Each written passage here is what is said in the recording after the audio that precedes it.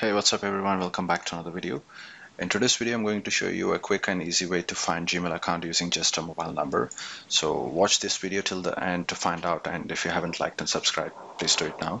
And uh, one thing to remember guys, remember everyone's privacy and only use this to recover your own account. So let's get started. Guys open your browser and uh, just type google.com and in the Google search bar type find my Google account and hit enter and uh, select this result find your email and here you will have to enter the number or the recovery email that uh, if you remember. So I'll be entering my number because I want to find using my number. So I'll enter my number and click on next. And in the next step you'll have to enter your first and last name.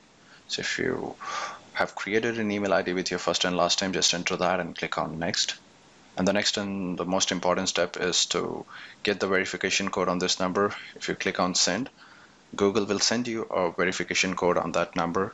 You will have to enter that number here to proceed.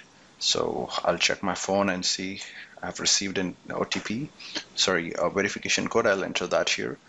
And uh, the last step is to click on next. And there you go once you enter the verification code it will show you all the accounts that are associated. You can see I have two accounts that are associated with this number and uh, that's how you find uh, Gmail using mobile number. That's how you find out your emails using mobile number.